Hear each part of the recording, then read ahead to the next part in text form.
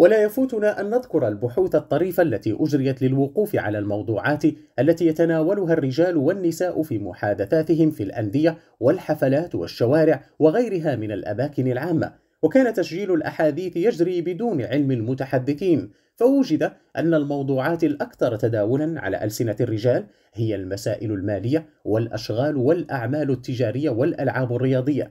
في حين أن النساء يتناولن في أحاديثهن غيرهن من النساء وبوجه عام الأشخاص دون الأشياء فيما عدا اهتمام المرأة المعروف بكل ما يتصل بالأزياء والملبس. ونختتم هذه الفقرة بالإشارة إلى موقف كل من الرجل والمرأة من القيم الحضارية الكبرى وتناول أحد البحوث القيم الستة الآتية القيمة النظرية العلمية الاقتصادية الفنية الاجتماعية السياسية والدينية. وأسفرت نتائج هذا البحث على أن المرأة أكثر استجابة من الرجل للقيم الفنية والاجتماعية والدينية في مقابل القيم النظرية والاقتصادية والسياسية.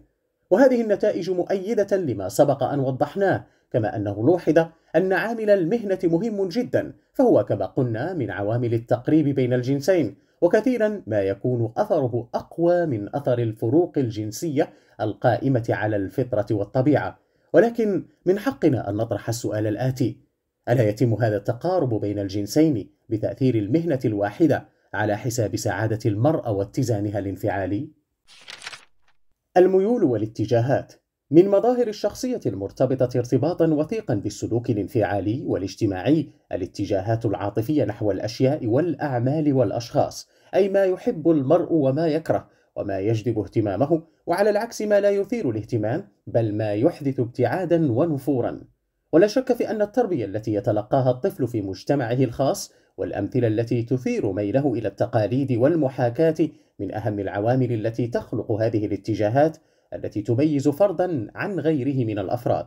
ومن الواضح أن هناك بعض الاتجاهات التي تميز بين الجنسين ولمعظم هذه الاتجاهات المختلفة أساس في الفروق الجنسية. غير أن الأوضاع الاجتماعية والتقاليد والآراء السائدة تعمل على تنمية هذه الاتجاهات وتثبيتها. ويجب أن نشير في بدء هذا الحديث إلى أن معظم الدراسات التي تناولت هذا الموضوع أجريت في الولايات المتحدة وقيمة هذه الدراسات لا تتجاوز البيئة الأمريكية أو الغربية بوجه عام وقد يجوز تطبيقها في محيطنا الشرقي بقدر أوجه الشبه القائمة بينه وبين المحيط الغربي وبقدر اشتراك أفراد الجنس البشري في طبيعة أصلية واحدة تمتد حدودها إلى العوامل البيولوجية التي تميز بين الذكور والإناث.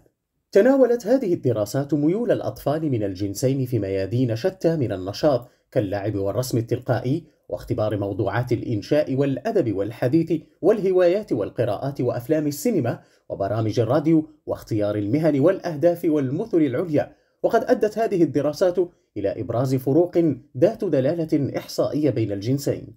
ومما هو جدير بالذكر أن هذه البحوث لم تأتي في الغالب بنتائج جديدة كل الجدة بل أيدت الآراء الشائعة التي تتلخص فيها الخبرة اليومية والمعلومات التي يجنيها الإنسان من ممارسته للحياة.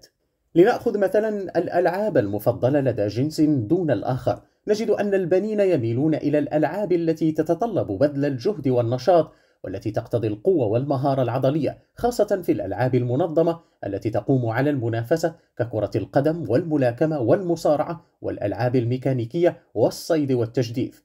أما ألعاب البنات فهي أميل إلى الهدوء وإلى محاكاة الأعمال المنزلية والمدرسية. كما لوحظ في رياض الأطفال أن البنين يميلون إلى اللعب بمواد البناء في حين أن الرسم وصنع التماثيل بالبلاسين من الألعاب المحببة لدى البنات. وهناك بلا شك طائفة من الألعاب مشتركة بين الجنسين. وقد وجد أن أكبر نسبة للفروق بين الجنسين تقع في الفترة بين السن الثامنة والحادية عشر وبعد هذه السن يأخذ التشابه يزداد مع تقدم السن. غير أنه لوحظ أن ألعاب البنين أكثر تنوعا من ألعاب البنات.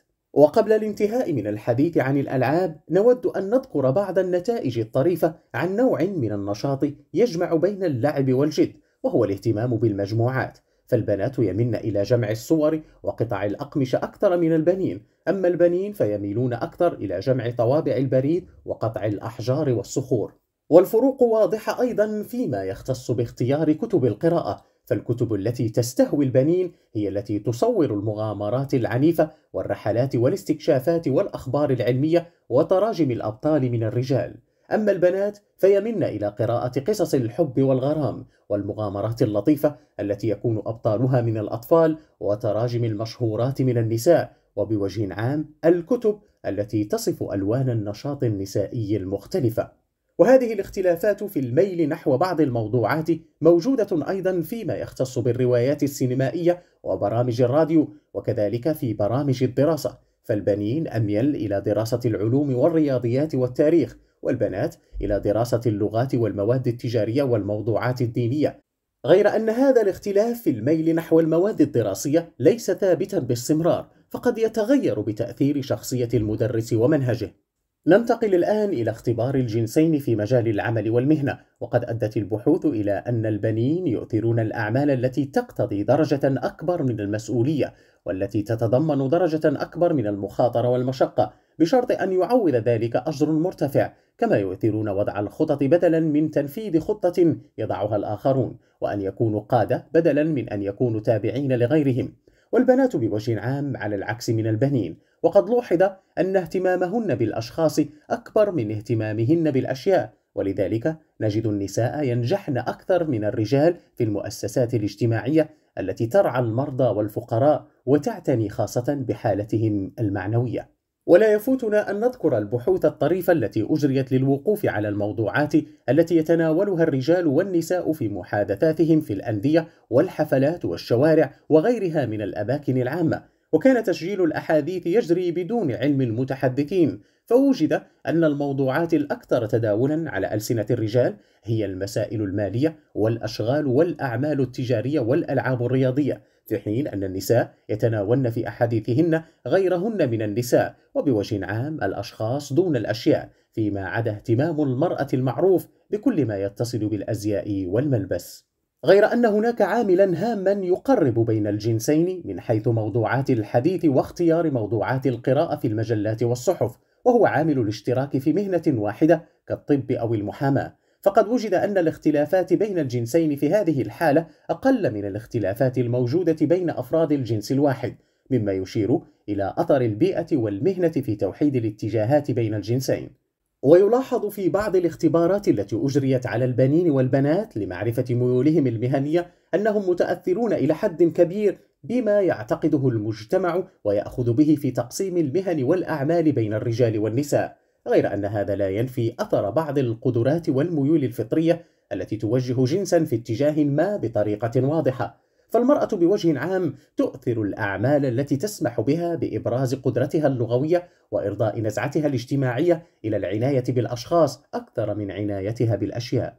ونختتم هذه الفقرة بالإشارة إلى موقف كل من الرجل والمرأة من القيم الحضارية الكبرى وتناول أحد البحوث القيم الستة الآتية القيمة النظرية العلمية الاقتصادية الفنية الاجتماعية السياسية والدينية. وأسفرت نتائج هذا البحث على أن المرأة أكثر استجابة من الرجل للقيم الفنية والاجتماعية والدينية في مقابل القيم النظرية والاقتصادية والسياسية.